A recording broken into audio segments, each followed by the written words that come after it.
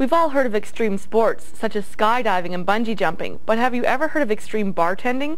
The Red Deer College Hospitality and Tourism program brought in an extreme bartender to teach students and instructors some tricks of the trade. Shaw TV's Nadine Abou-Ganim was there. The Cornerstone Lounge at the Red Deer College held a two-day seminar on none other than extreme bartending. So that's the sequence we're going to learn. This is how you put it all together. One. Alright. Camera. Alright. The students knew they were in the hands of a pro with their instructor Scott Young.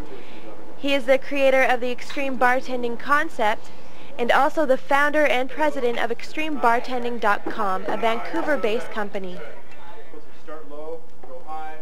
With hospitality and tourism being the largest industry in Canada, the seminar gave students the necessary feedback to edge out their competitors in a very competitive market.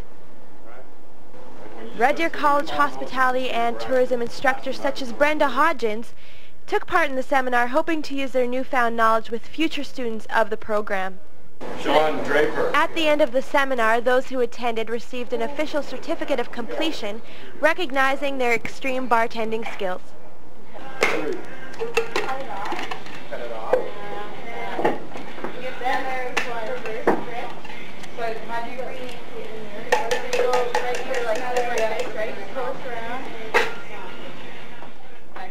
Here in Red Deer, I'm Nadine Abou-Ganim for Shaw TV. If you want to find out more about Scott Young's extreme bartending concept, visit his website at extremebartending.com.